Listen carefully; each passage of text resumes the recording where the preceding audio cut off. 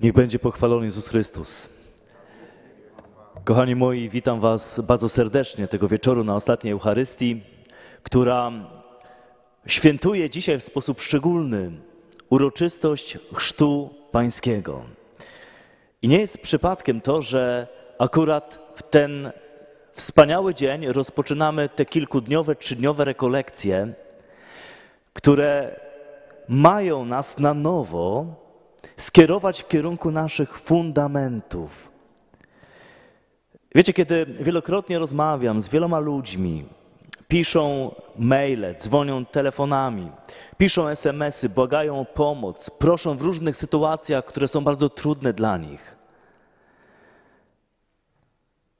Za każdym razem, czy prawie za każdym razem, widzę, że w ich życiu nigdy nie zostały zbudowane fundamenty.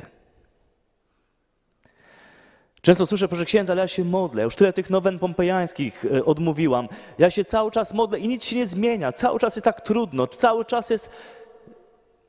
Nie ma fundamentów. Ktoś zaczyna od budowania bocznych ścian, ktoś zaczyna od budowania dachu, ktoś zaczyna od budowania czy wkładania okien do domu, a nigdy nie wykopał solidnych fundamentów. Jest rzeczą niemożliwą, żeby zbudować dom bez fundamentów.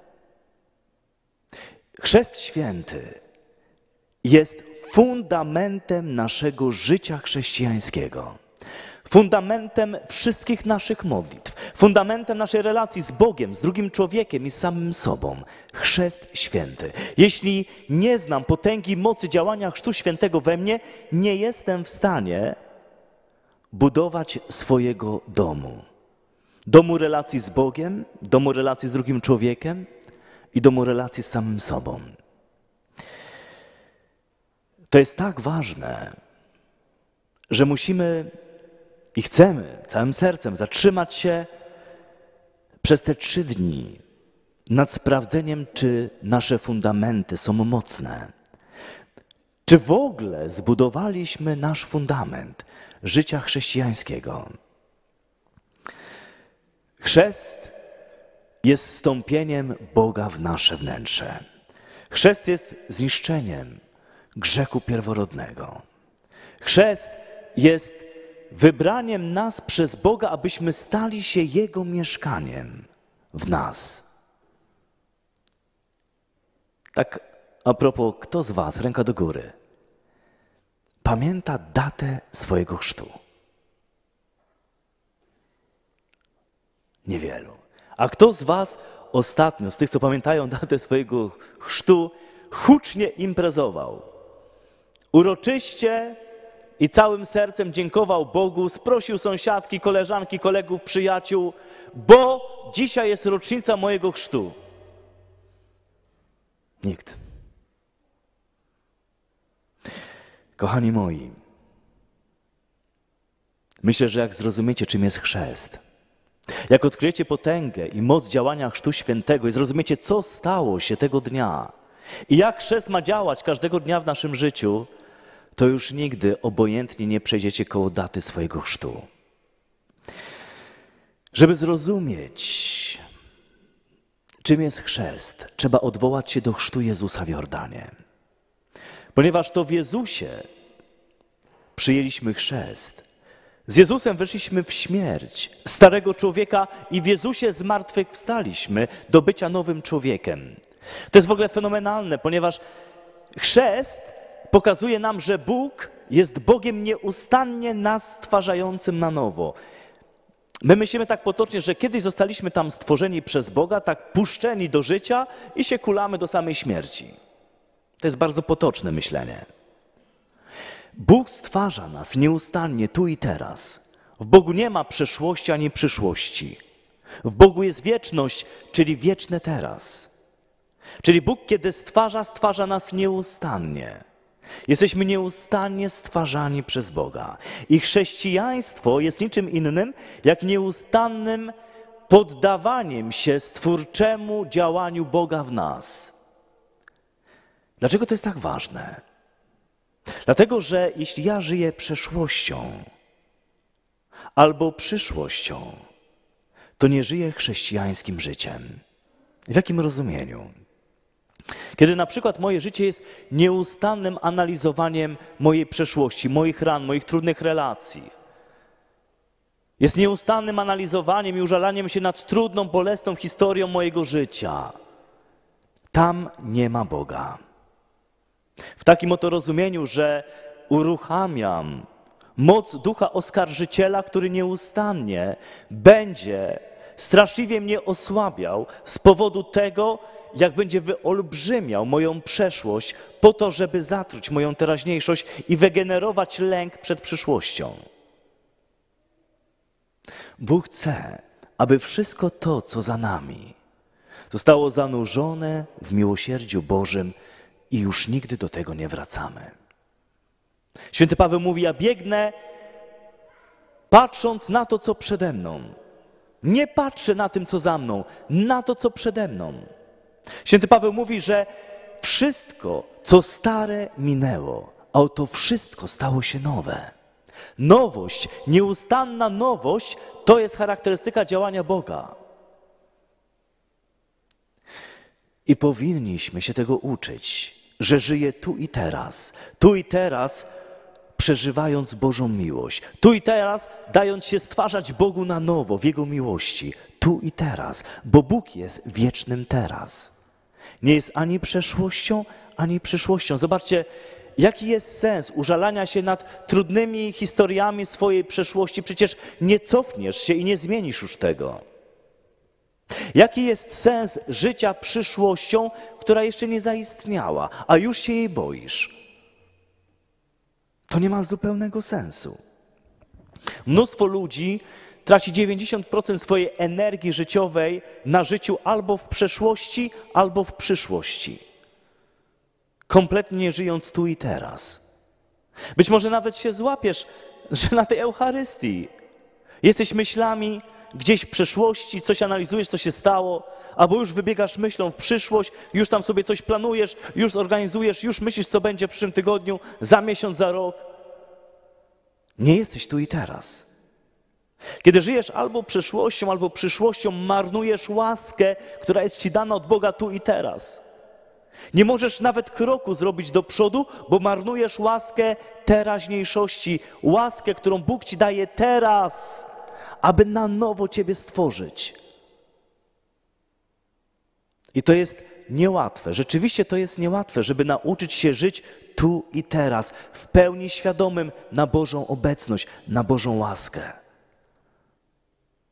Za każdym razem, kiedy będę chciał się odwracać już w stronę swojej przeszłości, albo ktoś mnie zranił, proszę księdza, ja miałem taką trudną relację z ojcem, a mnie tam ktoś poranił, a moja mama, a mój nauczyciel, a to zostaw, zostaw. To już jest przeszłość. Przebacz wszystko wszystkim i już nigdy do tego nie wracaj. Żyj tu i teraz, tym, który Ciebie kocha najbardziej, tym, który Ciebie tu i teraz chce stwarzać nieustannie w miłości. Kiedy patrzymy na chrzest Jezusa Chrystusa, to widzimy pierwszą rzeczywistość, która jest niesamowita, kiedy On wchodzi do rzeki Jordan. Widzimy, że nad Jezusem otwiera się niebo. To jest bardzo konkretna rzeczywistość duchowa, otwarte niebo. To jest odpowiedź na wołanie proroka Izajasza 400 lat wcześniej, kiedy to prorok Izajasz wołał do Boga, obyś rozdarł niebiosa i zesłał nam sprawiedliwego. I kiedy Jezus wchodzi do rzeki Jordan, dosłownie są rozrywane niebiosa.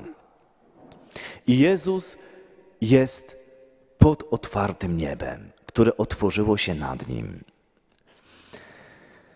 Dokładnie to samo dzieje się w momencie naszego chrztu, kiedy nasi rodzice przyprowadzili nas do kościoła i rozpoczął się chrzest. Otworzyło się nad nami niebo.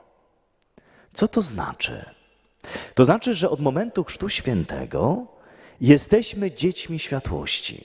Jesteśmy skąpani w świetle, zanurzeni w światłość. To tak jakby dookoła nas były nieprzeniknione ciemności grzechu, zła, demonów.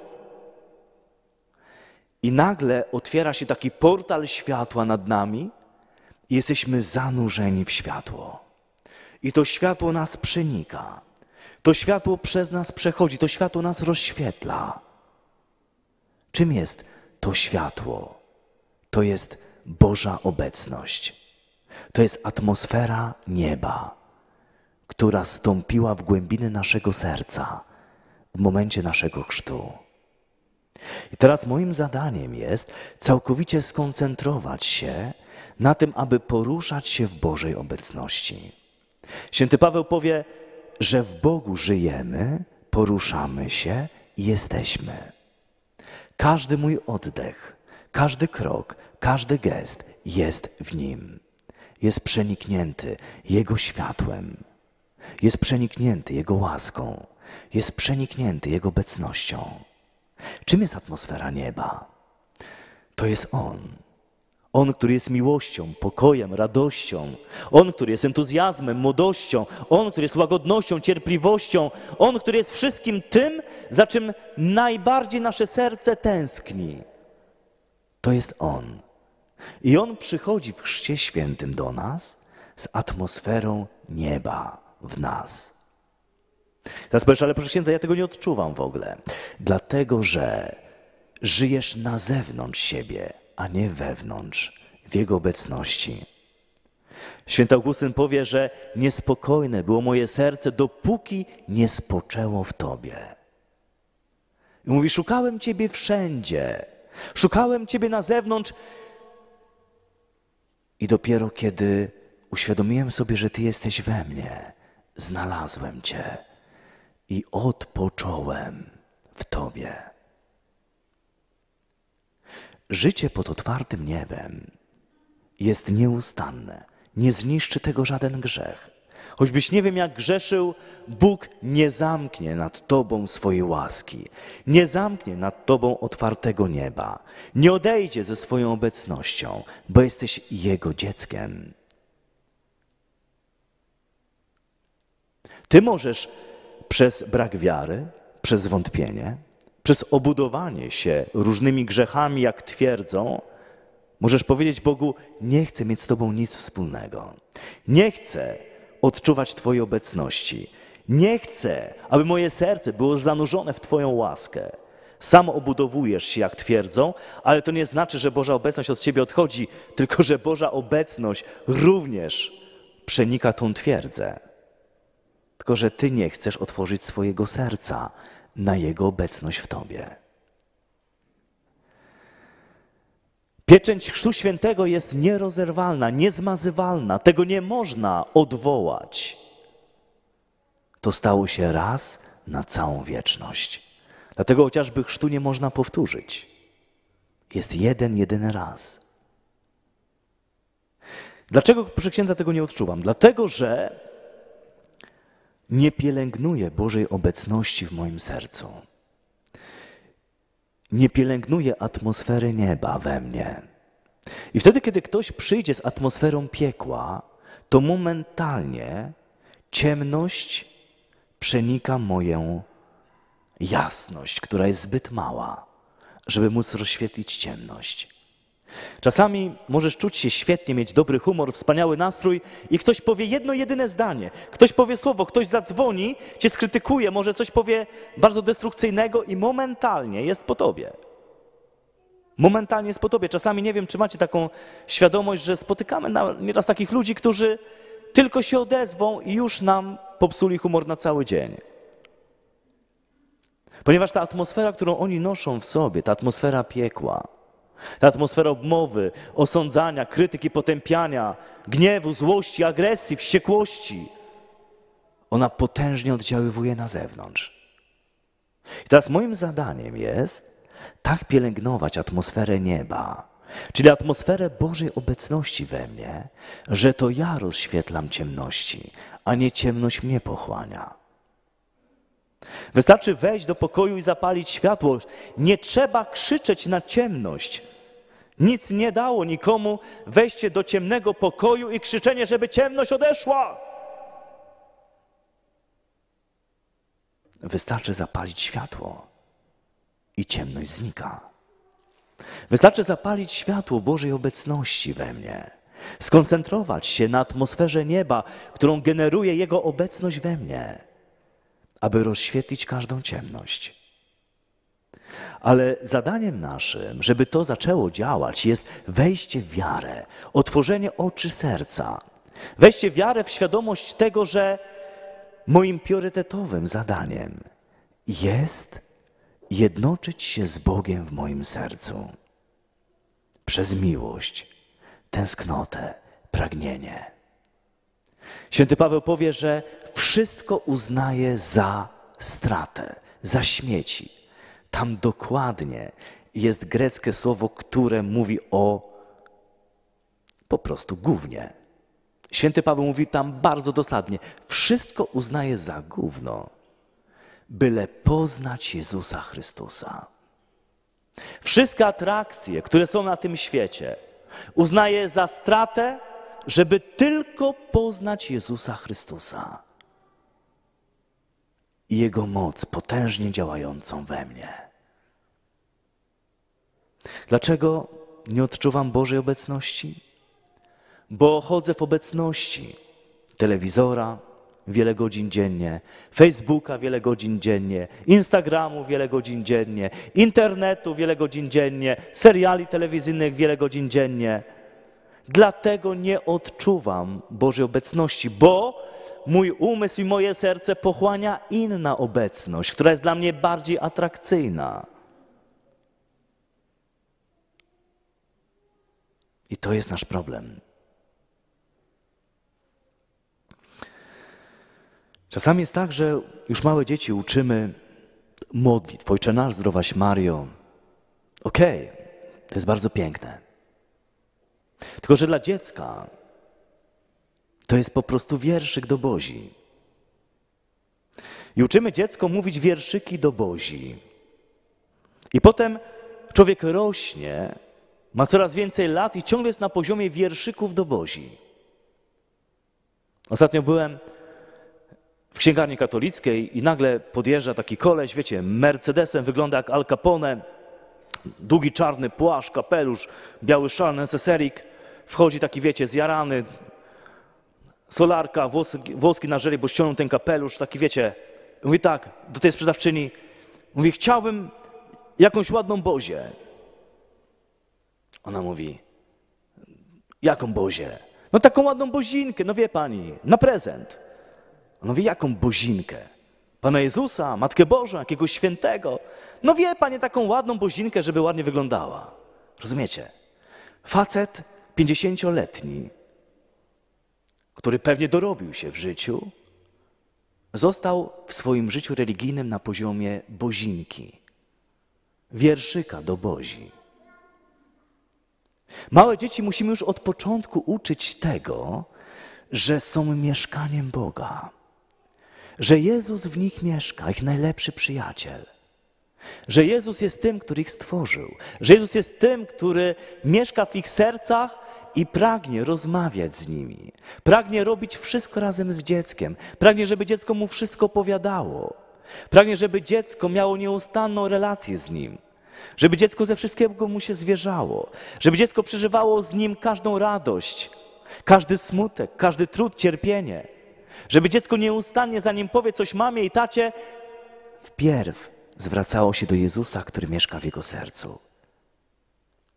Od tego się zaczyna budowanie relacji z Bogiem u dziecka, a dopiero potem zaczynamy uczyć formuł modlitewnych.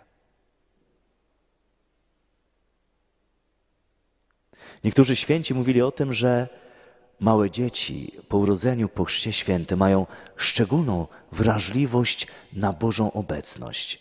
I niejednokrotnie widzą aniołów, widzą Jezusa, widzą Matkę Bożą. Potem z biegiem lat ta świadomość coraz jest mniejsza i dzieci jakby zapominają o tym. Ale mają jakąś szczególną wrażliwość właśnie po chrzcie świętym, kiedy są jeszcze tak niewinne. Że nawet rodzice często mają wrażenie, że Dziecko się do kogoś uśmiecha, ale nie patrzy na mnie. Do kogoś gaworzy, ale nie patrzy na mnie. Mają nieustanną wrażliwość na Bożą obecność. I musimy to wykorzystać. Chrzest rozpoczyna się od życia pod otwartym niebem, czyli życia w Bożej obecności, która ma się stać dla nas priorytetem naszego życia duchowego.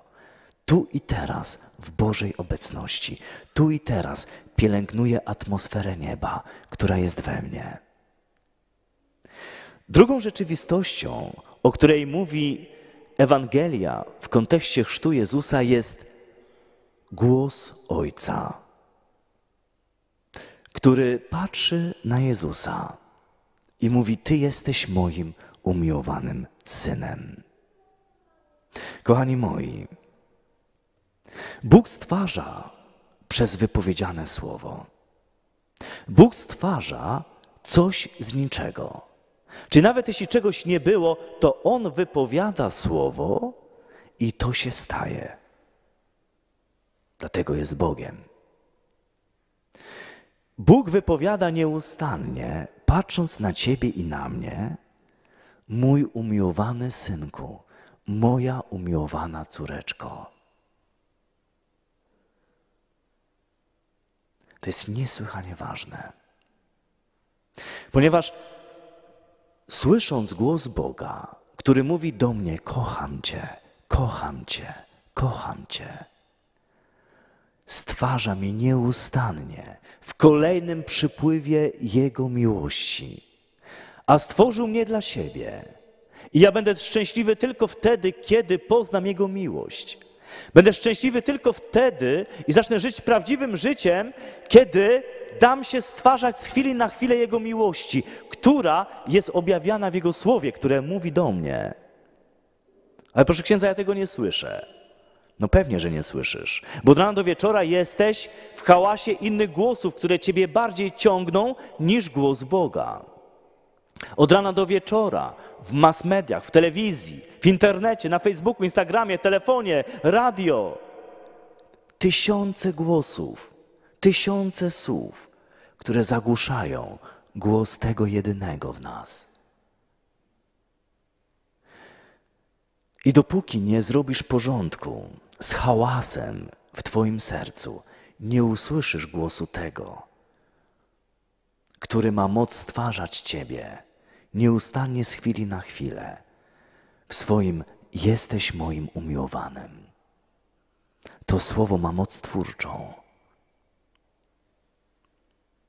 Moim zadaniem jest więc minimalizować hałas w moim sercu. Hałas głosów, które nieustannie bombardują mój umysł, aby móc usłyszeć ten jeden, jedyny głos. Problemem też jest to, kochani moi, że jeśli pozwolimy, aby nasze serce odcięło się od tego głosu, to w tą pustkę wejdzie inny głos. Wejdzie głos drugiego człowieka i głos demona. Jeśli Twoim imieniem od dnia Chrztu Świętego jest umiłowana córka Boga, umiłowany syn Boga, jeśli nie jesteś podłączony do nieustannego słuchania tego słowa dla ciebie, zaczynasz umierać w miłości. Przestajesz odczuwać miłość. Ten głos jest coraz dalszy, a coraz bliższe głosy tych, którzy dają ci inne imię, imię przeklęte, imię demoniczne i być może wielu z Was nosi te imiona. Więcej będę mówił o tym jutro. Jesteś beznadziejny. Jesteś do niczego. Nie jesteś wart miłości. Nic ci się w życiu nie uda. Jesteś debilem, głupkiem, idiotą. I ten głos, i te słowa zaczynają oddziaływać w naszym życiu. I niestety z tymi imionami zaczynamy identyfikować się w naszym życiu. I nie zdajemy sobie sprawy, że jest to w pewien sposób grzech bałwochwalstwa, który polega na tym, że stawiamy człowieka w miejsce Boga. I całe nasze życie zaczyna obracać się wokół tego jednego. Co ludzie o mnie mówią, co o mnie myślą, Opinia ludzka staje się dla mnie najważniejsza. To, co powie o mnie ten, którego darzę autorytetem, którego szanuję, ten, którego kocham, jest dla mnie ważniejsze niż co mówi o mnie Bóg.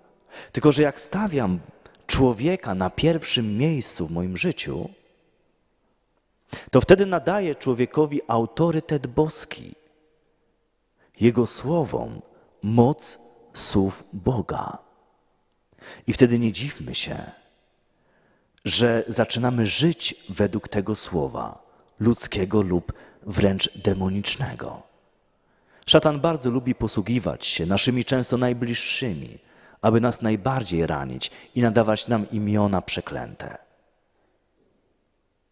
Dlatego też trzeba sobie jasno uświadomić, że jeśli ktoś miał w moim życiu, ma może w moim życiu autorytet większy niż Bóg i jego słowa dla mnie bardziej się liczą niż słowa Boga i dla mnie jest o wiele ważniejsze, co myśli człowiek, niż co myśli o mnie Bóg, z tego trzeba się wyspowiadać. Bo na tronie mojego serca jest człowiek, a nie Bóg. I nie dziwmy się potem, że wielu ludzi nieustannie całe swoje życie zabiega o to, żeby ludzie ich lubili, żeby dobrze o nich mówili. Że opinia ludzka jest dla ludzi najważniejsza. I zrobią wszystko, żeby ludzie dobrze o mnie mówili. Mnie nie interesuje, co drugi człowiek o mnie mówi. Przecież on mnie nie zna. Nie zna mojego serca. Wiecie, kiedy lubię bardzo czytać biografie, również bardzo trudnych osób, czasami zdumiewam się,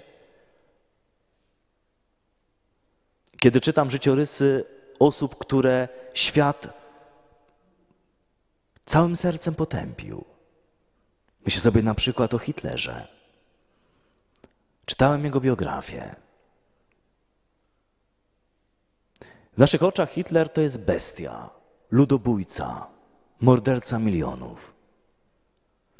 Ale nie wiem, czy wiecie, jakie dzieciństwo miał Hitler.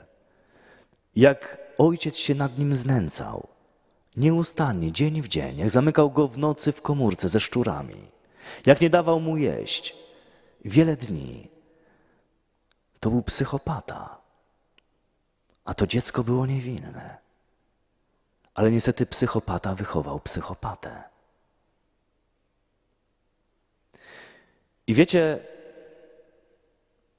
kiedy poznajesz bardzo trudne historie ludzi, których bardzo łatwo osądzić i powiedzieć, to jest morderca, to jest zabójca, Boże, co za wstrętno, brzydliwy człowiek. Bardzo łatwo rzucić takie inwektywy. Ale kiedy poznasz bardzo bolesną historię życia tego kogoś, to w miejsce oskarżenia zacznie pojawiać się wielkie współczucie. Pracowałem w naszym poprawczaku salezjańskim i tam bardzo łatwo było oceniać drugiego chłopaka. Kiedy przychodziły różne akta z bardzo trudnymi historiami przestępczymi tych chłopaków,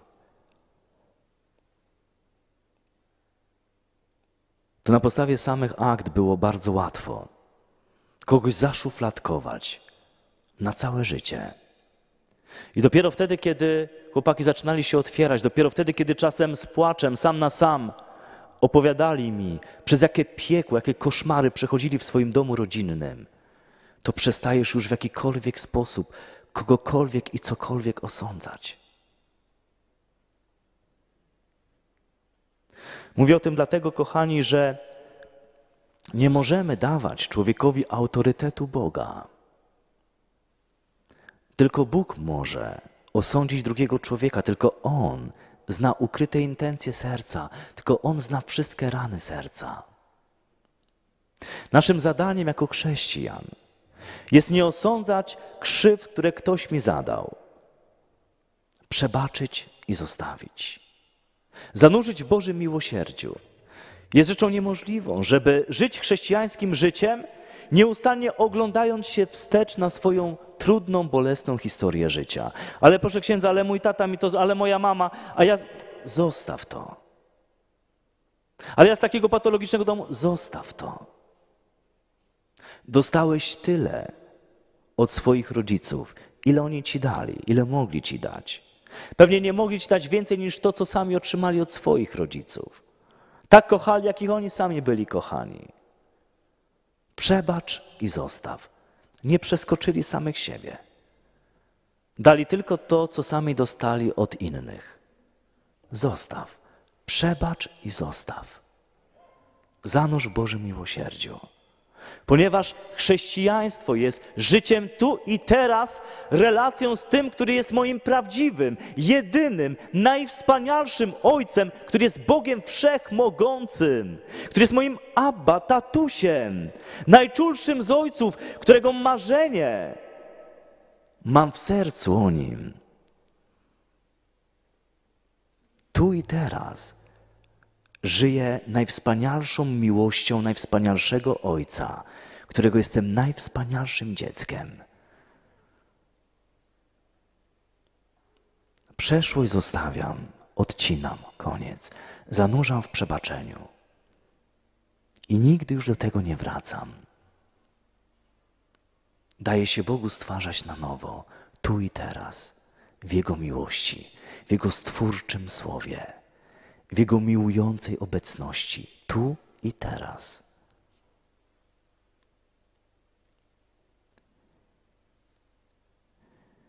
Znowu Bóg nie może odwrócić się od Ciebie i powiedzieć: Zrobiłeś takie, takie i takie rzeczy.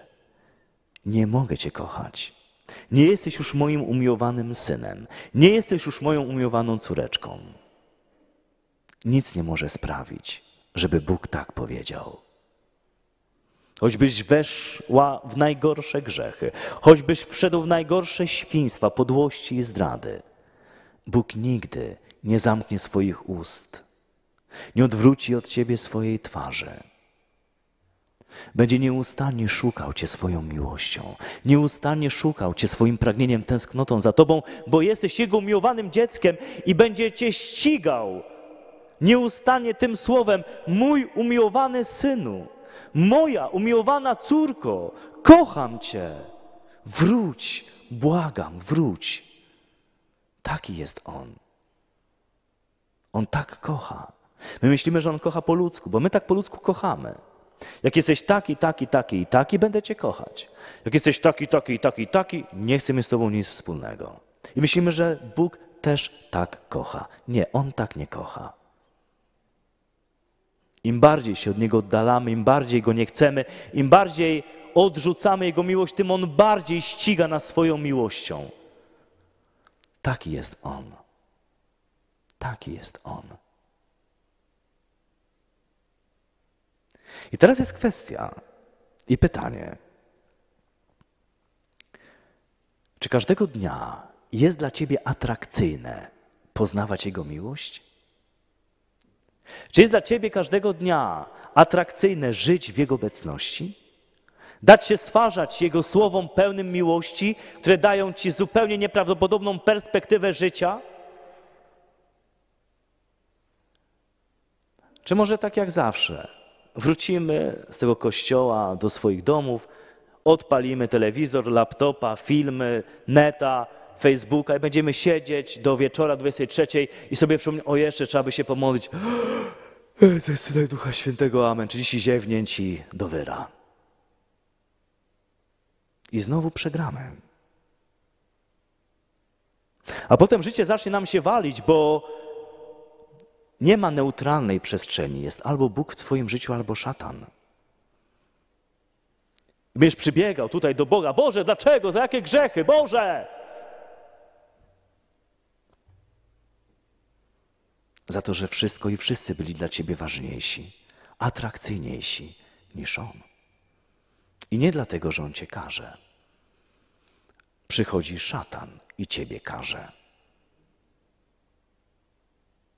I to jest problem.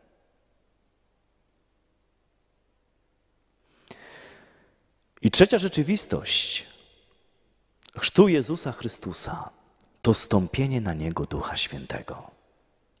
Kim jest Duch Święty? Jest miłością Ojca. Jest miłością Boga. Jest miłością Ojca do Syna i Syna do Ojca. Słowo Boże mówi, że On stąpił na Jezusa i spoczął na Nim jakby gołębica. To jakby jest bardzo ważne. Ponieważ my mamy bardzo często takie skróty wizualne, że jak mówimy Duch Święty, to widzimy gołębia. Duch Święty nie jest gołębiem. Chrześcijaństwo nie jest religią gołębiarzy. Duch Święty jest osobą, jest Bogiem, nie jest gołębiem. Trudno uczynić pasją swojego życia gołębia. Trudno otworzyć się na relację z gołębiem, a relacja z Duchem Świętym jest wszystkim w chrześcijaństwie. Ponieważ to właśnie On jest tym, który uczy nas przyjmować stwórczą miłość Bożego Słowa w kocham Cię. Jesteś moim umiłowanym synem, jesteś moją umiłowaną córką. I On w naszym imieniu odpowiada na tą stwórczą moc Ojca, wołając z głębi naszych serc Abba, Abba, Abba, tatusiu, tatusiu, tatusiu do Boga. Więc jeśli ja nie jestem podłączony do Ducha Świętego, nie jestem podłączony do tej pięknej odpowiedzi na Ojca głos, na Ojca patrzenie i mówienie mi: Kocham Cię, jesteś moim umiłowanym synem. Ja przeżywam to, podłączając się pod Ducha Świętego, który jest we mnie, odpowiadam do Niego: Tatusiu, tatusiu, tatusiu. To nigdy nie będę stwarzany w tej miłości, za którą tęskni moje serce. Duch Święty jest wszystkim. Jezus czynił wszystkie cuda mocą Ducha Świętego. Wszystkie. Uzdrawiał chorych mocą Ducha Świętego, otwierał oczy niewidomych, mocą Ducha Świętego otwierał uszy niesłyszących, mocą Ducha Świętego wyrzucał złe duchy, mocą Ducha Świętego chodził po wodzie, mocą Ducha Świętego wskrzeszał zmarłych, mocą Ducha Świętego wszystko czynił mocą Ducha Świętego. Można powiedzieć, był uzależniony od Ducha Świętego. Kiedy Duch Święty stąpił na niego i spoczął na nim, mówiąc tak obrazowo, Jezus nie pozwolił, aby Duch Święty oddalił się od niego. W Chrzcie Świętym został namaszczony. To, co mówi drugie czytanie dzisiaj, że Jezus przeszedł namaszczony przez ducha, dobrze czyniąc każdemu. Bo Bóg był z nim. Bóg nie odszedł od niego. Bóg był z nim. I teraz, kochani, tak obrazowo, gdyby gołębica spoczęła na waszym ramieniu i nie chcielibyście ją spłoszyć, aby odleciała od was, to z jakim z jaką koncentracją, z jaką uwagą, z jaką wrażliwością czynilibyście każdy krok, każdy ruch, by nie spłoszyć gołębicy, która jest na waszym ramieniu. To jest ten obraz z chrztu Jezusa. Mamy być tak skoncentrowani na obecności Ducha Świętego na nas, aby nie pozwolić mu odejść być tak wrażliwym na Jego natchnienia, aby być nieustannie wsłuchanym w to, jak On chce nas prowadzić. Jeśli chcesz być podłączony do ponadnaturalnej mocy Ducha Świętego, musisz uwrażliwić swoje serce na słuchanie Go, na słuchanie Jego natchnień. Siostra Faustyna mówi, że najkrótszą drogą do świętości jest słuchanie natchnień Ducha Świętego. Ale znowu, jeśli we mnie i wokół mnie jest hałas tysięcy innych słów, głosów, to jak mam usłyszeć Ducha Świętego? Jak mam usłyszeć Jego natchnienia? Jest to niemożliwe. Będę wtedy żył w kłamstwie. Będę jak marionetka w rękach diabła. Bo kiedy nie słyszę głosu Ducha Świętego, kiedy nie słyszę Jego natchnień, kiedy nie znam głosu Ojca, to wtedy daję prawdę głosom, które słyszę wokół siebie i w tym hałasie masmedialnym jestem jak marionetka diabła. Wierzę we wszystko, co mi mówią w masmediach. Poglądy pani z telewizji, z radia, też z internetu są dla mnie prawdą. No przecież tak w telewizji, proszę księdza, mówią. Jak trzeba być naiwnym, żeby w XXI wieku myśleć, że telewizja mówi prawdę od początku do końca. Prawdą jest tylko Bóg. Ile jest Boga w telewizji, tyle jest prawdy. Ile jest Ewangelii w telewizji, tyle jest prawdy. Tylko Bóg jest prawdą. I tylko kiedy zjednoczymy się w prawdzie, zjednoczymy się z Nim, możemy oglądać rzeczywistość w nas i wokół nas, Jego oczami, Jego sercem, Jego umysłem. I dopiero wtedy nie będziemy manipulowani przez rzeczywistość, którą inni chcą wykreować w naszych umysłach.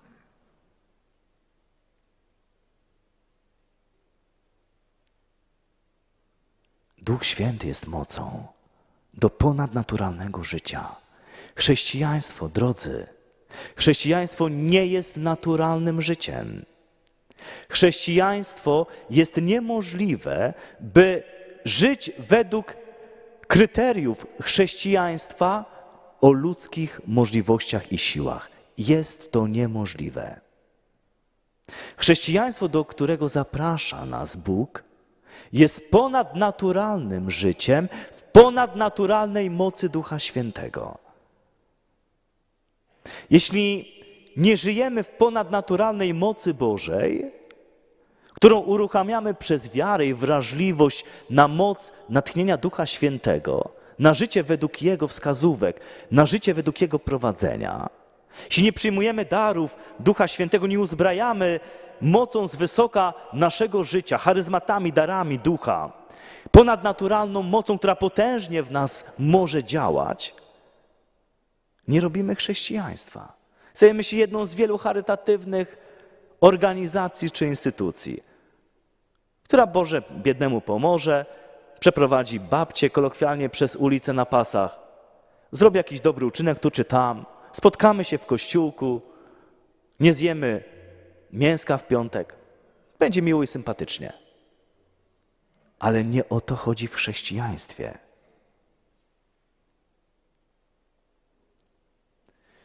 Jeśli nie będzie nas wyróżniać ponadnaturalna moc Boga widoczna w naszym życiu,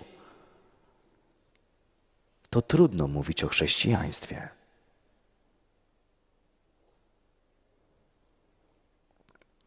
Dla Boga ponadnaturalne życie jest naturalnym życiem. Dla Niego wszystko jest naturalne. To, co dla nas ponadnaturalne, dla Niego to jest normalne, zwyczajne życie.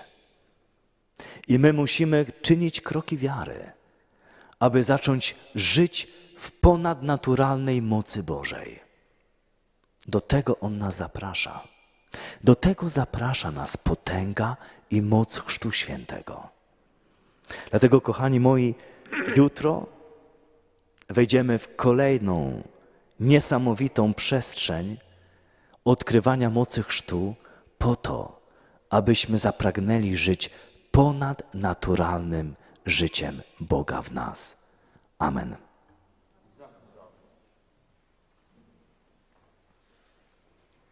Wierzę w jednego Boga,